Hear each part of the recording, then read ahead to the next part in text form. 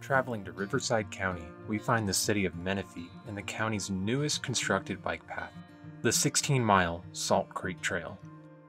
Menifee is located in the heart of Southern California in the Menifee Valley, about 25 miles south of Riverside City, the county's main commercial district, and roughly half that distance north from the Temecula Wine District. Home to approximately 90,000 residents living in the city, this community is generally a mix of retirees and young suburban families. Currently, the city has very limited cycling infrastructure and can be difficult to navigate anywhere if you don't have a car. However, in recent years, new funding has been pushed within the city to drastically change that and make good on transportation plans that have been in the works for decades. The best example of that is now Riverside County's newest Class 1 bike path. Welcome to the Salt Creek Trail. A four phase plan coordinated between the city of Menifee, Hemet, and Riverside County. Phase 1 of this 16 mile bikeway officially opened to the public in February of this year, connecting the two regional cities together across one safe, continuous Class 1 bike path. Now, residents of Menifee can traverse the first 4.3 mile trail exclusively within the Menifee Valley. In time, the entire Salt Creek Trail will stretch an additional 12 miles towards the city of Hemet, passing just beyond Diamond Valley Lake and ending on South State Street in Hemet, eventually connecting the two cities together along one continuous 16 mile long Class 1 bike path. Depending on what direction you travel, the currently available 4.3 mile route will take an average rider anywhere between 20 to 25 minutes to complete, while maintaining a steady pace of 10 to 12 miles per hour. If traveling west and riding east towards Hemet, you will experience a slight gradual ascent of approximately 26 feet throughout the entire route. The slope is so minor that it won't make a difference to most riders.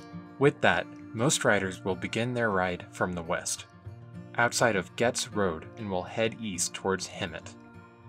Unfortunately, parking is very limited on both ends of this trail.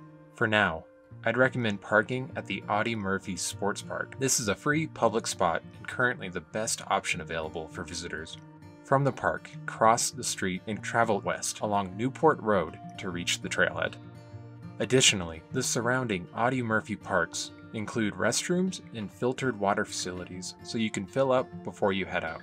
From this point, heading east, with the Menifee Water Tower at your back, you will ride among the beautiful protected open area of the Audie Murphy Ranch Park for approximately one mile. This is the greenest section of the path and may provide some shade amongst the trees, depending on what time of day you're riding. From there, you will then approach your first street crossing at Quiet Normandy Road.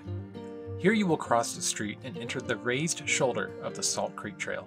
While riding along the creek basin, take in the views of the massive Salt Creek and approach the south side of the Sun City Water Facility before reaching the second street crossing at the moderately busy Murrieta Road. After crossing the road, continue along the river basin and approach the small U gap that fully lowers you into the basin within the water runoff heading north. The greater creek basin itself is almost always dry throughout the year. However, this is the one and only section of the trail that could be prone to flooding during a storm, so just be aware of that. For the remaining two miles, you will pass suburban community houses, the dry riverbed, and unique shrubbery and flowers lined along the bike path. Eventually crossing over Bradley Road, under the 215 freeway, and reaching the current end of the path just outside of Antelope Road. Remember, from this point, upon further construction, the trail will continue 12 more miles through the rest of Menifee, crossing into the city of Hemet. If you prefer to begin your ride from this point, there's a small dirt parking lot you can park at. Note, there are currently no direct metro lines or stations that facilitate this path. For now, if you live anywhere outside of the area, you will need to drive to the trail to safely access it. This path is also very exposed to the elements. The nature of the open Salt Creek Basin creates a strong wind tunnel. So if traveling east to west, you'll experience strong headwinds in the middle of the day and into the evening. But that is offset by how flat the trail is overall, making it easy for most riders to navigate without much issue. Additionally, the entire 4.3 mile stretch is very exposed to the sun. Luckily, the Menifee Valley has a modest climate throughout most of the year, but during the hottest summer months, it can reach average highs of 98 degrees, so plan accordingly.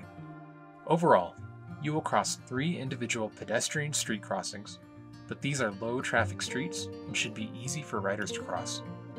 Outside of Audie Murphy Ranch, there are limited water facilities, parks, or local shops to rest and refuel at. And parking is accessible and safe, but limited on both current ends of the trail. Generally, for the residents living within the Menifee Valley and visitors to the area, this trail is a positive cycling development within the region and will potentially become the top tier premier bikeway for the county. I hope you have the opportunity to check it out yourself. Don't forget to like and subscribe to the channel, and as always, ride on and ride safe.